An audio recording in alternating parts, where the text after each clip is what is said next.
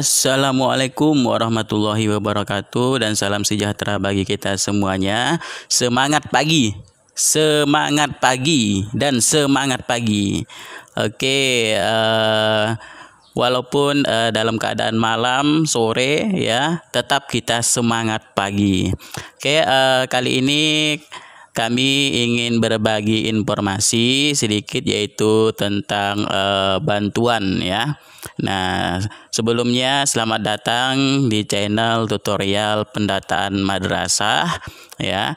Nah, kini uh, kami ingin berbagi informasi sedikit yaitu tentang uh, bantuan dari Kementerian Agama untuk ya seluruh guru dan Nah, dannya ini adalah untuk uh, tenaga pendidik ataupun kita sebut TU dengan operator. Nah, kabar gembiranya ada di sini. Oke, di sini adalah uh, dari Kementerian Agama ya. Nah, dari Kementerian Agama Jakarta di sini uh, dengan nomor uh, suratnya tertera di sini kemudian tanggal 2 Oktober 2020.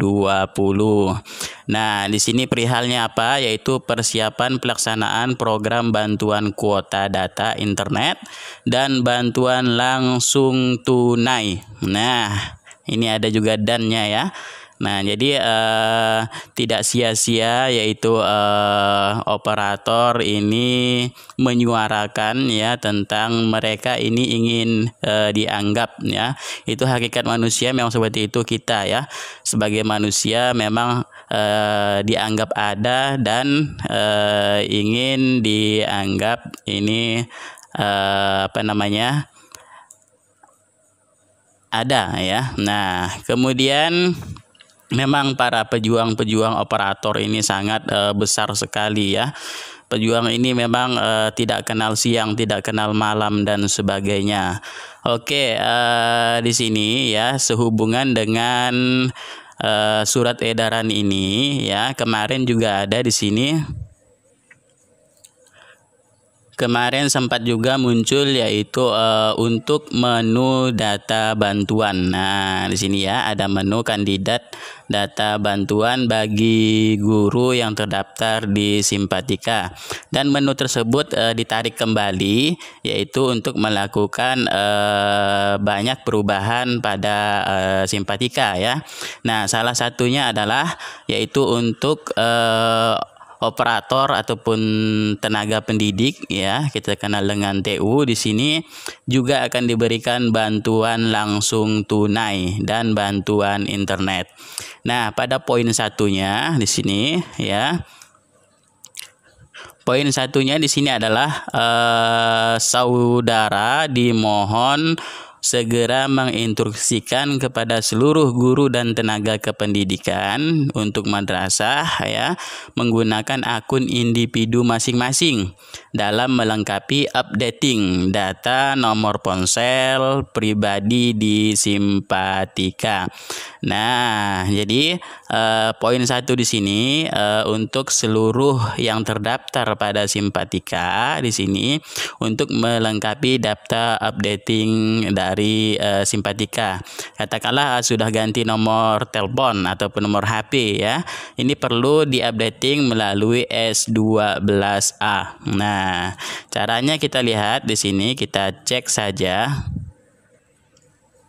Nah, caranya kita uh, di sini lihat biodata kalian ya untuk para rekan-rekan operator ataupun TU ataupun guru semuanya. Nah, di sini ya kalian uh, jika ada perubahan dari nomor telepon ataupun nomor HP kalian di sini bisa kalian klik ubah di sini ya Nah, klik ubah di sini, kemudian masukkan nomor HP kalian dan nanti ada uh, cetak yaitu S12A. Nah, di sini ya, S12A. Oke, di sini untuk perubahan nomor telepon, data rinci dan sebagainya. Nah, nanti di sini juga ada uh, lampiran untuk profilnya ya. Nah, data rinci S12A-nya di sini. Oke, kemudian di sini ada poin nomor 2 lagi yaitu Nah, poin ini ya khusus untuk uh, guru dan tenaga kependidikan yang berstatus bukan PNS. Nah, wajib melengkapi data nomor rekening bank dengan mengunggah hasil pindai buku rekening bank ataupun hasil scan ya yang uh, masih aktif di Simpatika. Oke, menunya uh, sudah ada gambaran seperti pada kemarin di sini. Nah, maka nanti uh, seluruhnya pada akun simpatika di sini nanti akan ditampilkan yaitu untuk kandidat data bantuan ya. Nah, termasuklah dari untuk yang uh, operator ataupun TU-nya ya. Nah, tata usahanya di sini nanti kalian lengkapi saja di sini untuk uh, rekening bank ya kemudian tadi juga harus melengkapi nomor HP ya nah di sini rekening bank ya Oke, kalian nanti lengkapi ketika ini akan dimunculkan ya. Nah, sebentar lagi akan diluncurkan. Nah, kemarin sudah diluncurkan sempat kemudian ditarik kembali.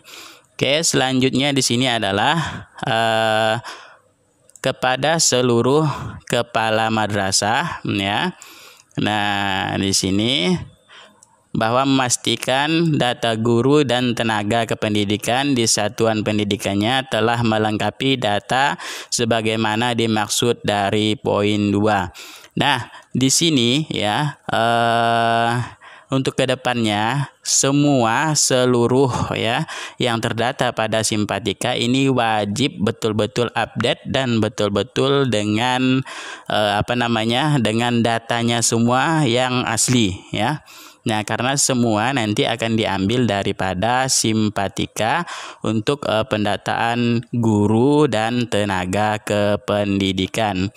Nah, ada poin empatnya juga di sini ya, yaitu batas waktu untuk melengkapi updating. Yang dimaksud ini dari tanggal 11 Oktober 2 uh, sampai ya sampai dibuka sampai 11 Oktober 2020.